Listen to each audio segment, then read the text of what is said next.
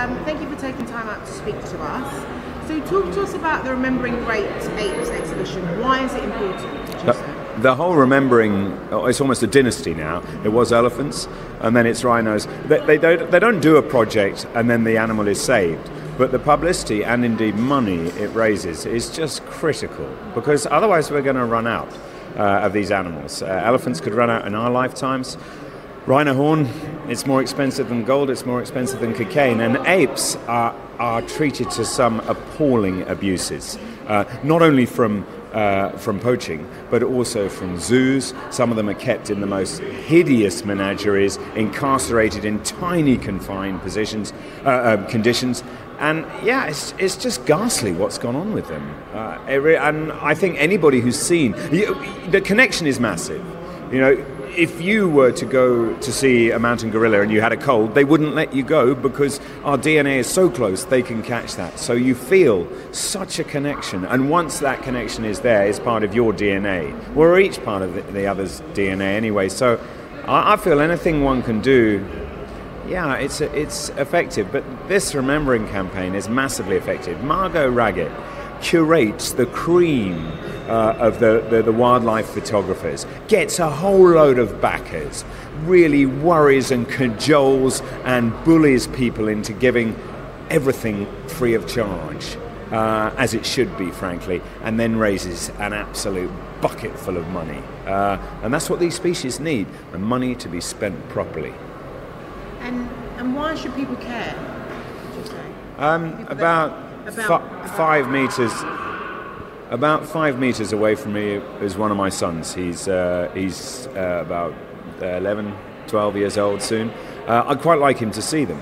There's a chance in his lifetime he won't see elephants.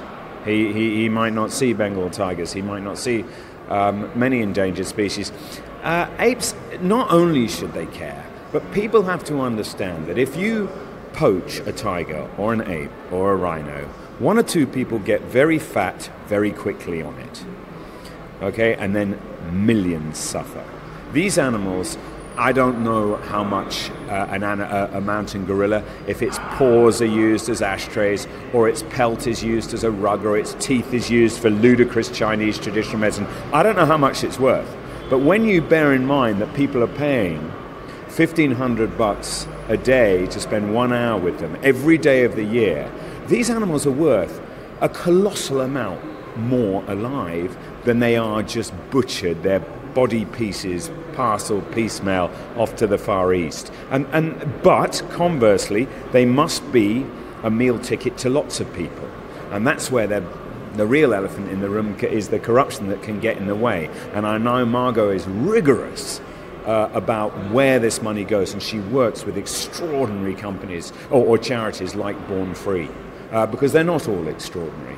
Uh, and she's managed to, to, to, sort of prune out and done the necessary forensics uh, to get the companies that really matter.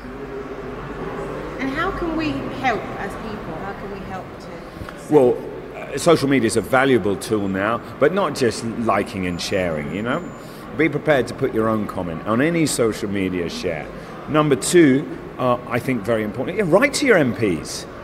You know, it, people get things done by, by weight of numbers. You know, write to them, continue to write to them. And if you just get fobbed off, write to them again.